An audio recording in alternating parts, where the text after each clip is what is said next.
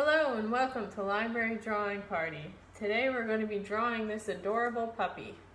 In order to help get the proportions right, let's start with a tile so we can create a grid which will help us determine where to place things for the puppy. So in order to form our tile grid, kind of hard to see with the pencil that I used here, so I'm going to be using a thicker pencil and a little bit thicker line so you can see. I have two doors up here that are at an angle. So I'm going to draw mostly straight line but with a little bit of an angle. And then I'm going to draw a second line underneath that this is the edge of our doors. Then we have the doors and there's a border to these particular doors. I'm going to add the border now.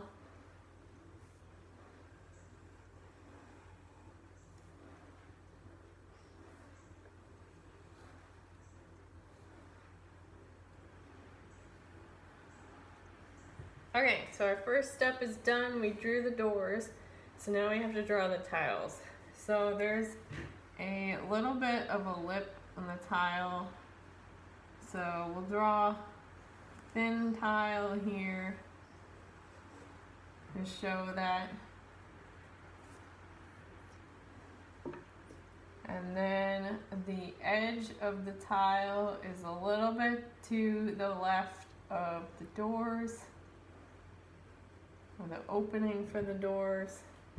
And then there's another edge over here. And then I'm to draw, so this would be where the grout would go in the tile.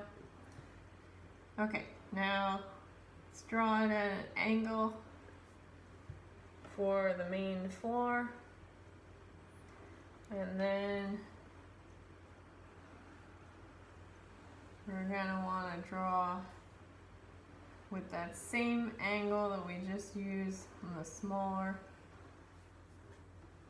You could use a ruler if you'd like this to be more precise. You can also use another pencil.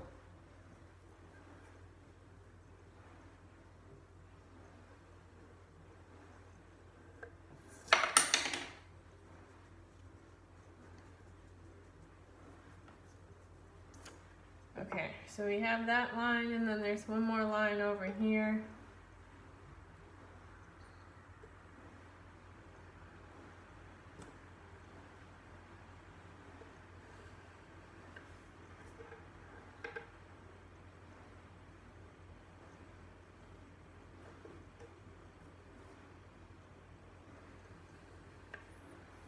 Okay, so we put our grout lines going this way.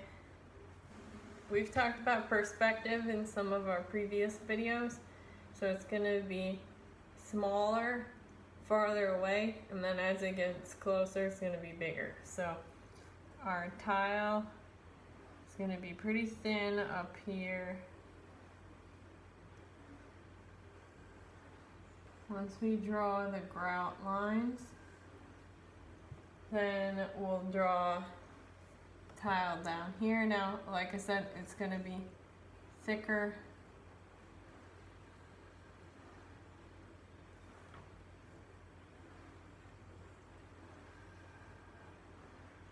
So this tile and this tile are exactly the same size, but because this one's further away, we're having about an inch, and this is about an two inches or an inch and a half.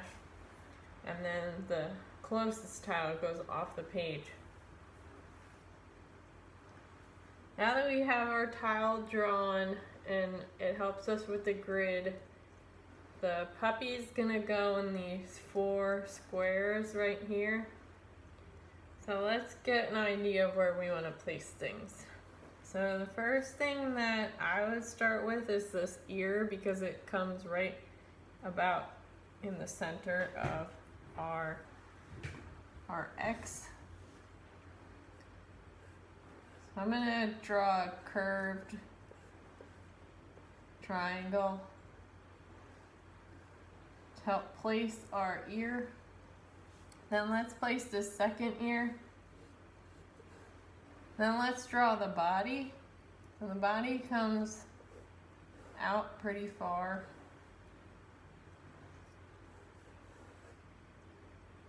And it goes right through the middle of the tile and then into the second tile here.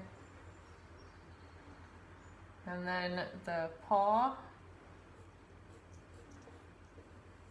comes down to the edge of this front tile.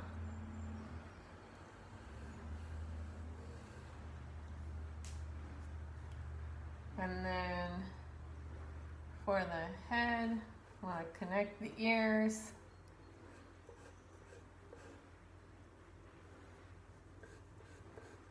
The left side of his head comes into the middle of the tile. Right now I'm just sketching shapes. I'll go in and add the details later on. I just want to have an idea of where I'm going to put things to make sure that the proportions are the way that I want them to look. And I'll put his paw here. Let's take a step back. I think this should come out more.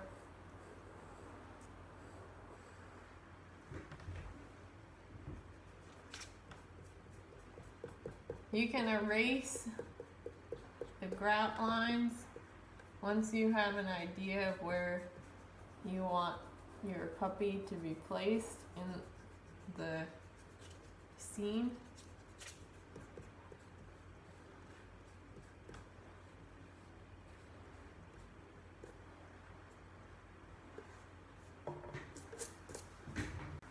think my head is coming down a little too far, so I'm going to trim that. Okay, this arm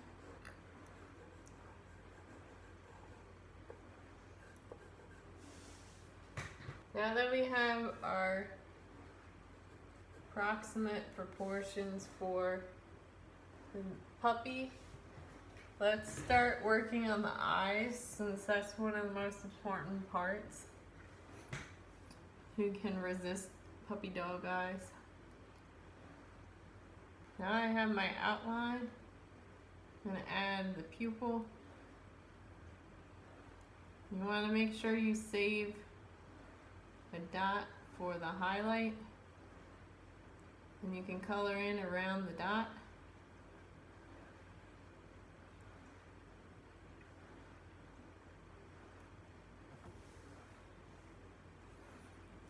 And, then, let's do the other side.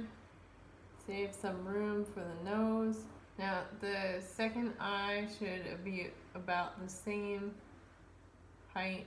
If you're having trouble, you can take a picture or use a picture you have of your pet and then you can make the graph like what we we did with the tile. You could draw, if it's your only picture, make sure you make a copy. But once you make the copy, you can draw the lines right on it so you know exactly where to place things and it'll help when you're doing these proportions because this can be a little tricky. Alright, um, we want another highlight dot, darken edge of the eye.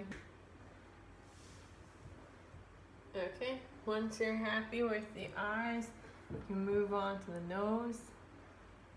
The nose should be down towards the bottom here. Uh, you do a very dark half moon and then fade out as you work your way up Let's draw on the nose. Now that we have our eyes. I like to draw the eyes first because they're the most important part and then you can work your way out and adjust the proportions as you go. Alright, so this particular puppy has some shading near the eyes and nose. So I would highly advise trying to get your shading and everything that you can get done with your with your number two pencil first while it's easy to erase and then go back over it with the colors to give it that nice vibrant fur. Now let's start on the ear. I don't want to put the full force yet because I'm not sure if I have the proportions the way that I want them. So I'm just going to start placing half circle and a triangle and then there's another oval inside the ear. And then on this side,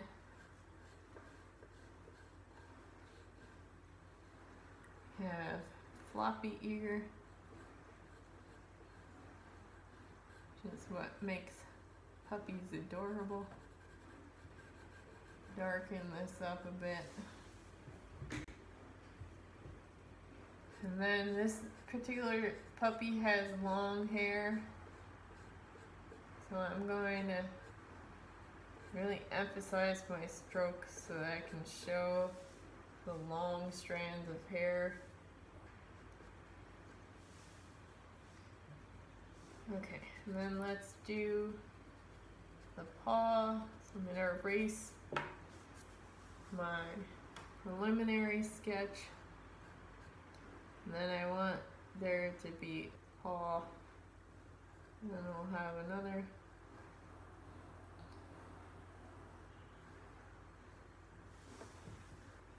And then let's add the white part of body. That comes down and up. We have V shape.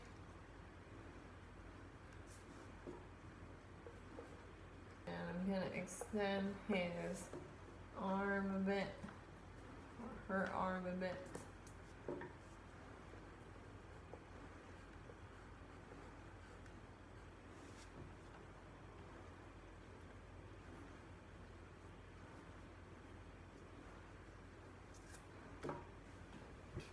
So now that we started working on that, let me start drawing the long hairs in the body.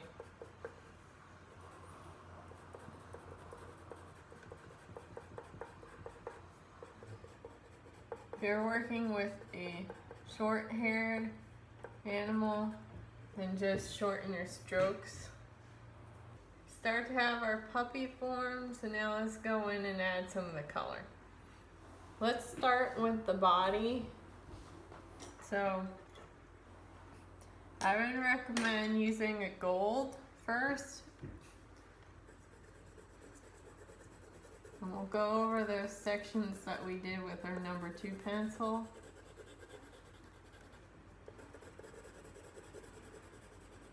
Again, keep the strokes long and bold. We want to be able to see that hair. And then I'm going to go in and fill in the white areas. I'm going to fill in the fur. I didn't do the whole body with the number two pencil because I wanted to use that for the shading. And since the fur is never just going to be in one direction, you want to add some different directions. Similar to the cross hatching we were talking about last week.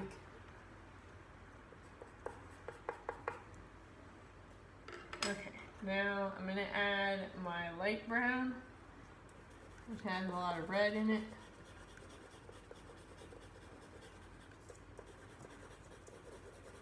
Starting with the number two pencil strokes. And then I go in and add the rest of the fur. And then again, make sure that we have hairs going in many different directions.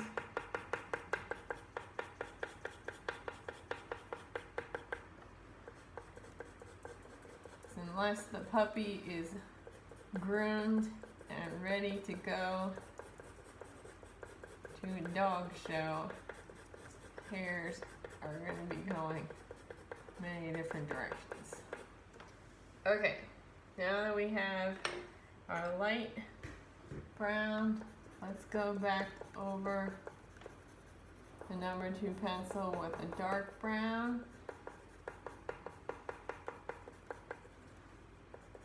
I'll add a few strokes in the middle. I don't want to get too heavy with that because I want the orange color to really shine through.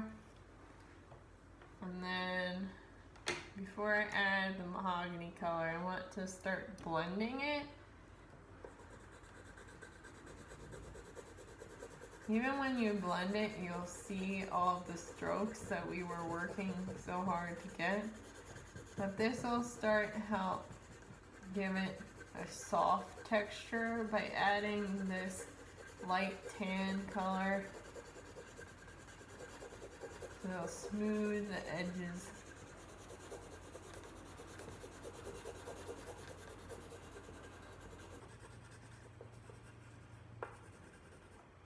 Okay. And then let's go back to the face. So for our face, let's use the gold where we added the number two pencil.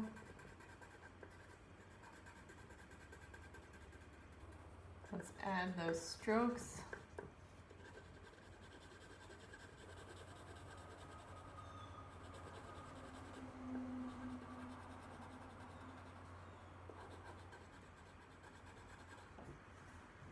Okay, so I used my gold for the base coat. Now for the highlights, I'm going to use this tan color that we used for Put it by the eyes, put it around the nose.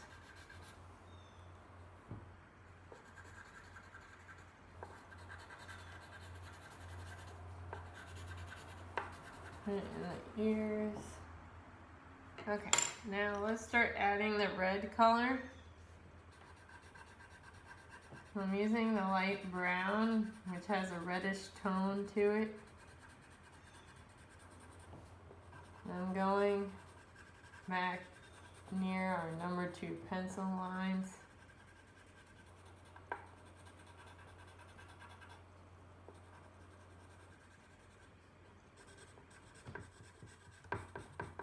And I'm adding those long strokes.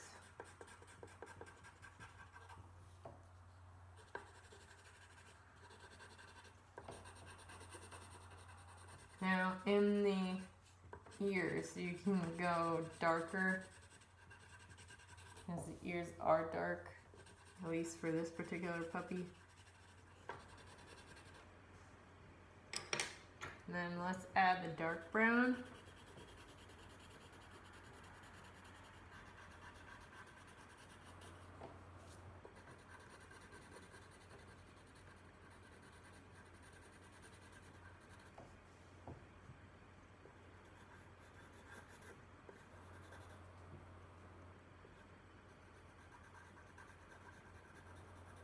Just add a little bit shading on the face. I'm gonna use the dark brown to really deepen tones. Great opportunity really make the eyes pop.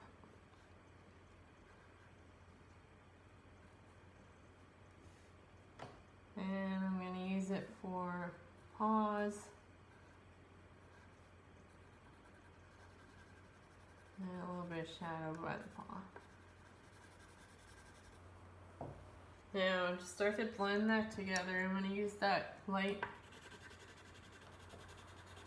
tan color that we were using before. I'm gonna blend everything now. Just smooth it out and show that it's nice soft fur.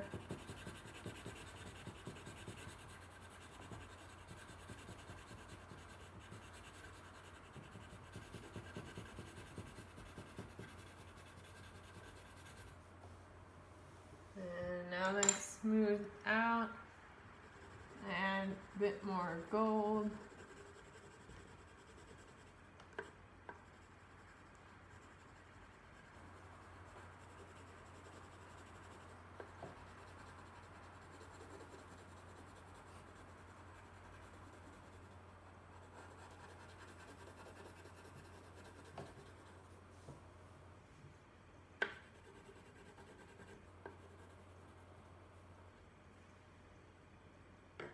And I'm gonna add a little bit of the light brown around the edges.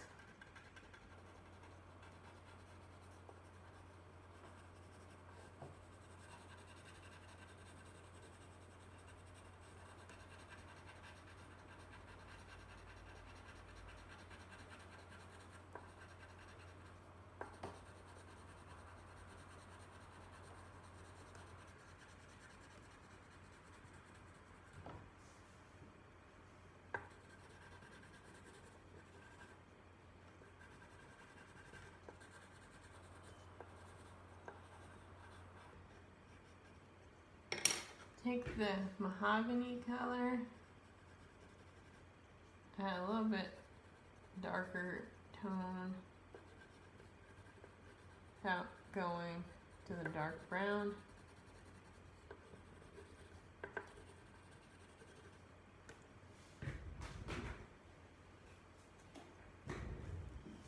And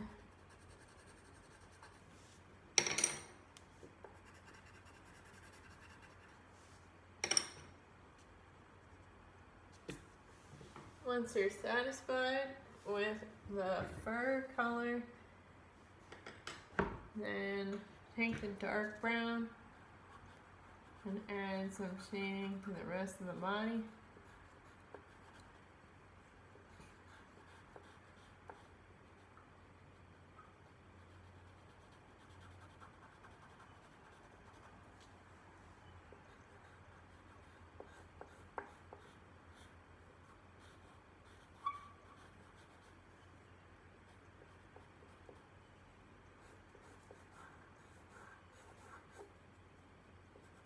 This should also have fur too. You want to make these lines a little fuzzy. You can see the hair. I'm pretty happy with this. The next step is to take our number two pencil and hold it sideways and then add curlicues for the tile. This will mimic marble. You can get that marbleization look on the tiles.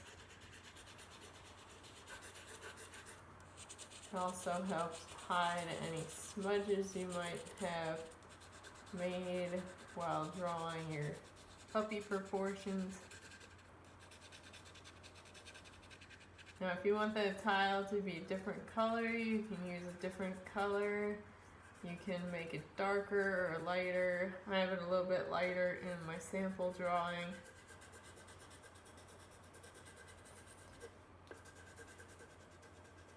But by using the side of the pencil, you get that nice marbleization look, so not everything looks the same.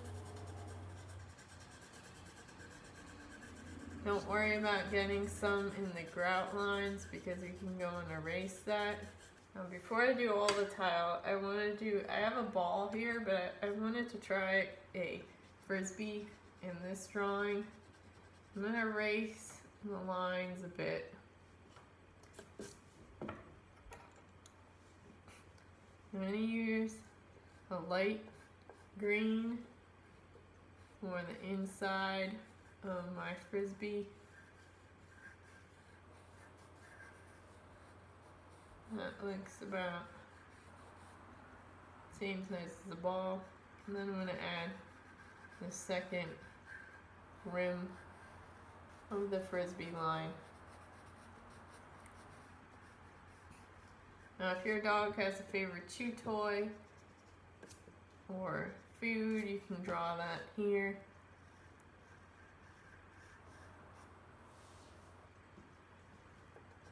I'm to fill that in.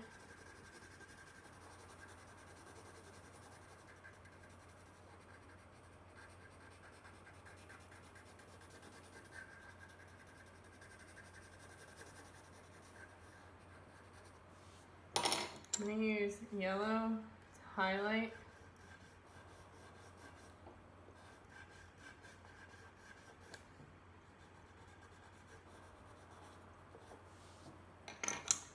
And a darker green to emphasize those boundary lines that we drew in.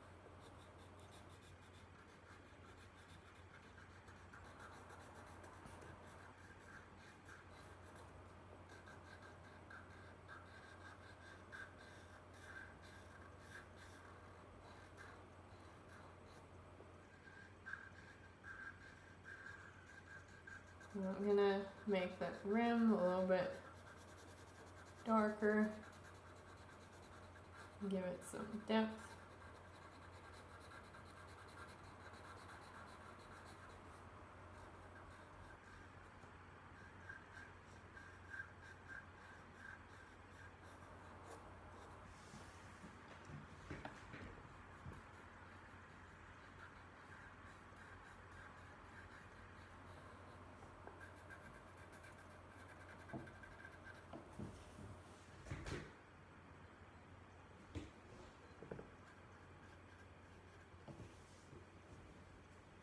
Now I'm not drawing the whole circle because half of it's in his mouth or her mouth. So that should be good. Add some shading in these little parts here. Then we'll go back to adding the rest of our tile.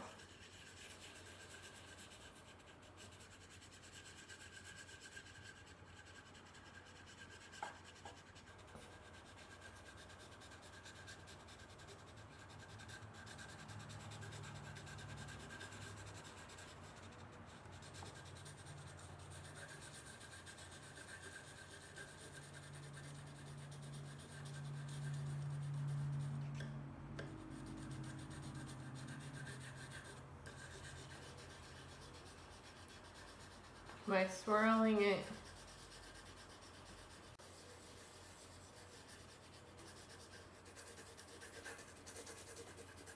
you get these interesting patterns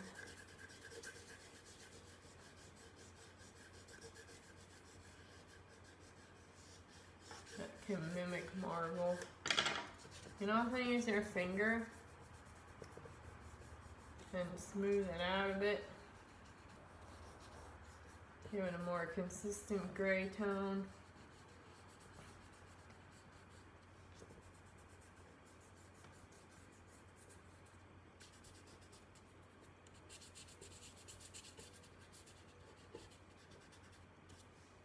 And finally, let's take our eraser and go over the grout lines.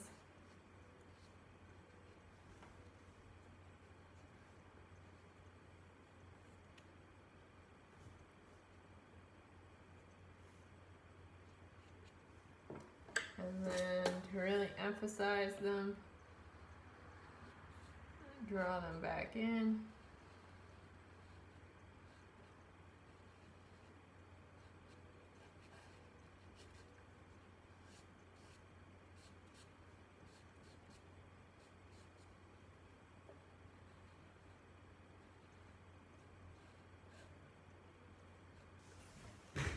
And there you have it. There's our puppy. Thank you for joining us in Library Drawing Party. We hope to see you again next week. We have library drawing parties every Wednesday at 7 p.m. And keep being creative.